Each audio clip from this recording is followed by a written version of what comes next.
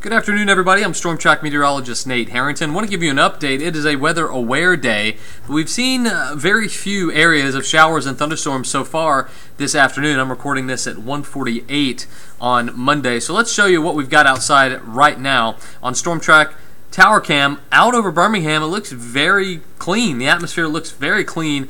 Uh, we, Mark Prater and I were talking about this earlier. Normally, when you've got so much visibility, there's not a whole lot of moisture in the air, and you can see there's some. We've got clouds around, but uh, just not the big towering cumulus clouds and the big storms that uh, we were expecting at this time so far.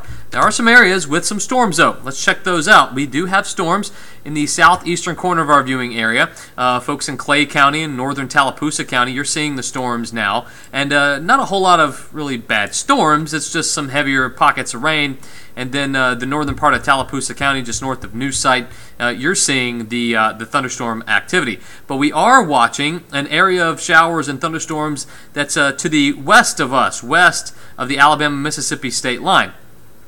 These storms are moving generally to the north and to the east. watch the uh, direction of motion when I can get the the uh, the camera ready to go here. Watch the direction of motion. These have just popped up here in the last hour or so, and they're moving to the north and west. And if we kind of extrapolate that, uh, we're expecting these storms to basically move this way. So they could be clipping our western viewing area.